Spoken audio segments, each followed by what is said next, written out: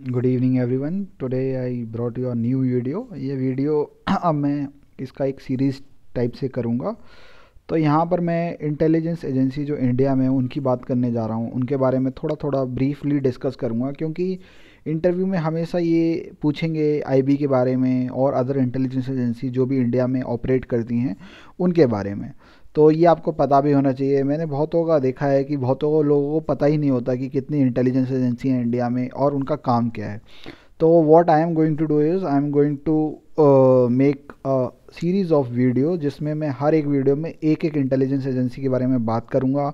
उनके बारे में थोड़ा आपको ओवरव्यू दूँगा ताकि जब आप इंटरव्यू में देने जाएँ तो आप उसके बारे में कुछ कुछ बता पाएँ, क्योंकि ये एक सीक्रेट एजेंसीज़ हैं तो इसके बारे में ओपन सोर्स में बहुत कुछ नहीं है अवेलेबल बट जितना भी अवेलेबल है, मैं उसके बारे में थोड़ा थोड़ा आपको बताते चलूँगा, और आप उसके बारे में जान के आप वहाँ पर अपने इंटरव्यू में अच्छे से बोल सकते हैं।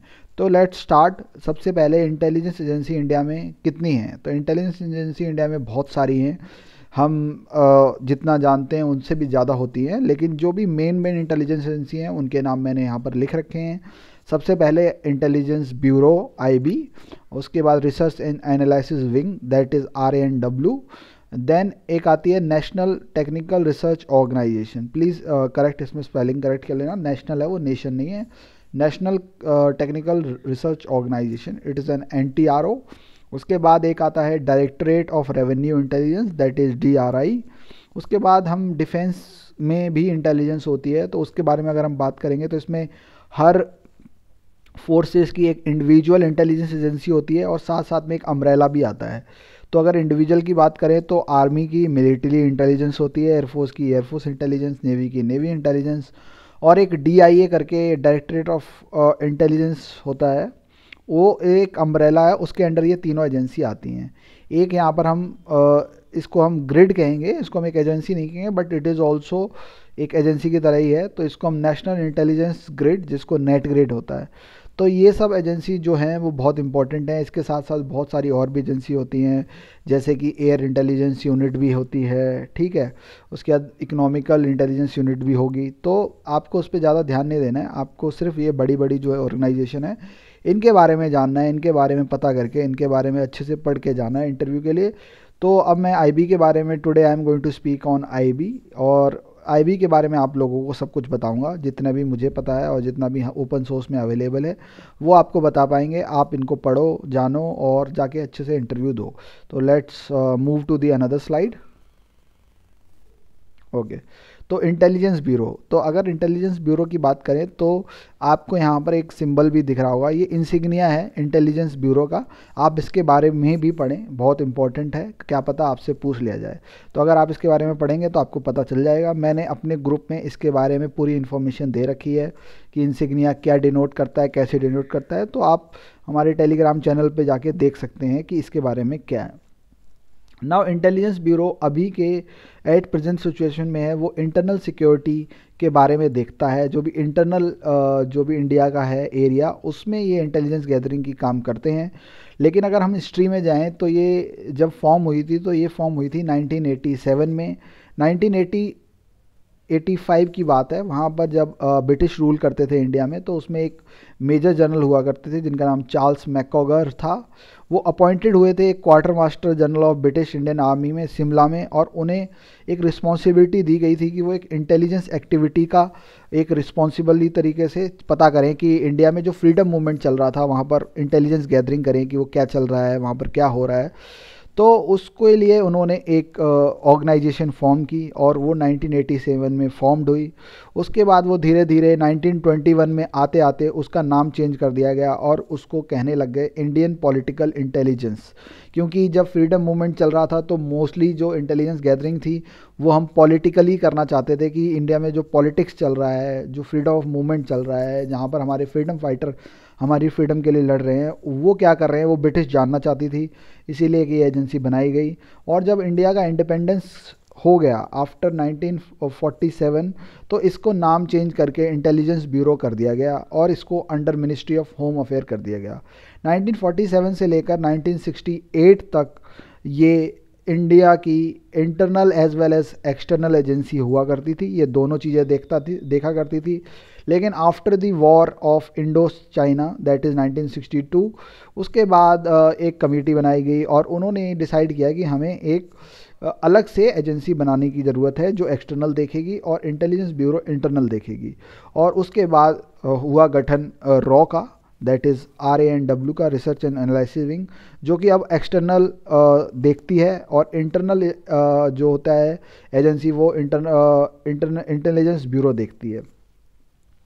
अगर हम इसके हेडक्वार्टर की बात करें तो इसका हेडक्वार्टर न्यू दिल्ली इंडिया में है।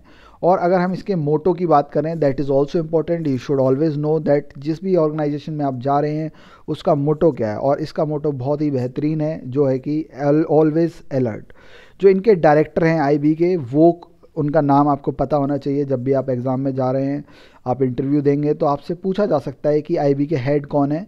तो you have to tell that IB के हेड अरविंद कुमार हैं। और ये आपको अच्छे से पता होना चाहिए। अब यहाँ आईबी के काम के बारे में बहुत रहता है लोगों को कि वो क्या करती हैं आईबी तो आईबी का काम है intelligence gathering within India और ऑल्सो काउंटर इंटेलिजेंस का जो काम होता है, वो। यहाँ पर काउंटर टेररिज्म ये सब भी टास्क दिए जाते हैं। अब काउंटर इंटेलिजेंस और इंटेलिजेंस का मतलब क्या होता है? अगर हम इंटेलिजेंस की बात करें तो कोई भी इंफॉर्मेशन ही एक इंटेलिजेंस नहीं होती है, वो एक इंफॉर्मेशन होती है डेटा होता है। उसके अंदर जो हमारे काम की चीज़ होती है, अगर हम उसको निकाल पाएँगे शॉर्ट एनालिसिस करके तो वो जो चीज़ इन्फॉर्मेशन बचेगी, उसको हम इंटेलिजेंस कहते हैं। और काउंटर इंटेलिजेंस क्या होता है? काउंटर इंटेलिजेंस मतलब ये होता है कि कोई भी एडवर्सरी कंट्री है या कोई भी एक ग्रुप है जो हमारी कंट्री के खिलाफ इंफॉर्मेशन गैदरिंग करने की कोशिश कर रहा है to stop those adversary is called counter counter intelligence ठीक है। अब काउंटर टेररिज्म टेररिज्म को काउंटर करने के लिए जो भी टास्क दिए गए हैं, वो आईबी के होते हैं। आई साथ साथ में क्या करती है? बॉर्डर एरियाज़ में, जैसे कि नेपाल है, चाइना है, बांग्लादेश है, म्यांमार है, यहाँ पर भी डिप्लॉयड हैं आईबी के agents and they also gather the information regarding the यहाँ पर जो भी बॉर्डर पे पोरस बॉर्डर है स्मगलिंग हो रही है थ्रेट्स हो रहे हैं क्या क्या थ्रेट्स हैं तो उनके बारे में इंटेलिजेंस गैदरिंग करती है। और ये यहाँ पर सेपरेटिस्ट वायलेंट पॉलिटिकल मूवमेंट्स हैं। जैसे कि अगर आप देखेंगे तो खालिस्तान का जो पंजाब में है, अगर नॉर्थ ईस्ट में इंसर्जेंसी देखी जाए तो वहाँ पर वहाँ पर भी आईबी का एक बहुत इंपॉर्टेंट रोल होता है। साथ साथ में एक आईबी की वीआईपी सिक्योरिटी यूनिट होती है, जो कि सेफ्टी देखती है वीआईपी की। जैसे कि वहाँ पर जो भी वीआईपी हैं, जैसे कि हम अगर प्राइम मिनिस्टर की बात करें तो उनके ऊपर क्या थ्रेट्स हैं कहाँ कहाँ से थ्रेट्स हैं अगर थ्रेट्स हैं तो कैसे हो सकता है? इन सब के बारे में इंफॉर्मेशन गैदर करना और उनकी सिक्योरिटी देखने का काम आईबी की वीआईपी सिक्योरिटी यूनिट का काम होता है। हर स्टेट में इंटेलिजेंस ब्यूरो का एक छोटा सा हेडक्वार्टर होता है सब हेडक्वार्टर कह सकते हैं। उसको हम सब्सिडरी इंटेलिजेंस ब्यूरो भी कहते हैं और ये बहुत इंपॉर्टेंट होते हैं, हर स्टेट में आपको मिल जाएँगे। अब लास्ट में एक बात जो है वो है कि आईबी ने क्या क्या ऑपरेशन किए हैं, उनमें से कुछ फ़ेमस आपको पता होने चाहिए। अब जो भी मैंने ओपन सोर्स से पता कर पाया है, जो भी विकीपीडिया में देखा पाया है तो उसमें ये लिखा गया है और ये किया गया था कि आईबी ने काउंटर इंटेलिजेंस प्रोग्राम एक बनाया था और किया था, जिससे सीआईए को हमारे पोखरन न्यूक्लियर टेस्ट जब हुआ था, उसके बारे में पता नहीं चल पाया था। तो सीआईए क्या कर रही थी? सीआईए इन्फॉर्मेशन गैदर करने की कोशिश कर रही थी कि क्या इंडिया एक न्यूक्लियर टेस्ट करने जा रहा है, लेकिन वहाँ पर आईबी ने एक बहुत सक्सेसफुली ऑपरेशन प्लान किया और काउंटर इंटेलिजेंस की तरीके से उन्हें प्रिवेंट कर पाया कि उन्हें हमारी इन्फॉर्मेशन नहीं मिल पाई। That is how we are able to test our nuclear in Pokhran two उसके बाद एक रिपोर्ट भी आईबी ने 2008 में बहुत सारे टेरर मॉड्यूल्स को इंटेलिजेंस गैदरिंग के द्वारा उनको बस्ट कर दिया गया। वहाँ पर नहीं हो पाए। और आईबी ने एक बहुत बड़ा रोल प्ले किया है जो northern eastern state of India हैं, वहाँ पर पीस लाने के लिए।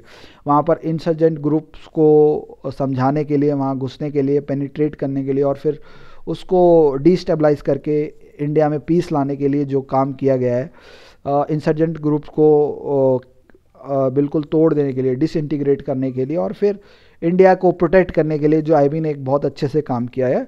वो भी एक ऑपरेशनों में माना जाता है। होपफुली आपको आईबी के बारे में जितना पता होना चाहिए, वो पता चल चुका होगा। मैं next video R A N W research and analysis wing के बारे में लाऊँगा। उसके बाद I am going to speak about N T R O और उसके बाद हम डी के बारे में एंड मिलिट्री इंटेलिजेंस के बारे में बात करेंगे। और लास्ट में हम नेट ग्रेड के बारे में बात करके ये सीरीज़ को ख़त्म कर देंगे। होपफुली सबको समझ आए, सबको अच्छा लगे। अगर आपको हमारी वीडियो पसंद आती है तो प्लीज़ लाइक करें, सब्सक्राइब करें। और अगर आपको हमारे मॉक इंटरव्यू देने हैं, बहुत ही मिनिमम प्राइस पे एक प्रोग्राम चल रहा है तो you can join our Telegram group, वहाँ पर मॉक इंटरव्यू आप दे सकते हैं। और अगर आपको कोई भी डाउट है या कोई भी क्वेरी है तो you can ask in the Telegram group. Telegram group का link description as well as in the comment section दिया गया है। Please join it and prepare well for your interview. I am sure जितने भी aspirants हैं, बहुत ही मेहनत से काम कर रहे हैं प्रिपेयर कर रहे होंगे एंड आई एम श्योर बहुत सारे यहाँ पर देश की सेवा करने का मौका आपको मिलेगा। इससे के साथ हम अपनी वीडियो को ख़त्म करते हैं। Thank you bye bye